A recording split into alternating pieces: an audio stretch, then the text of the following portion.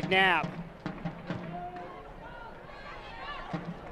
Theresa lays it off for Groom. Groom sends one across. Now one stopped momentarily and then put in the back of net by none other than Jodie Taylor. Finally finds the goal that she's been looking for all day.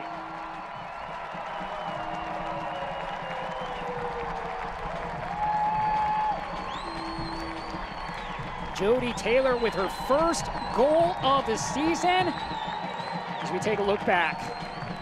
And this is a fantastic goal.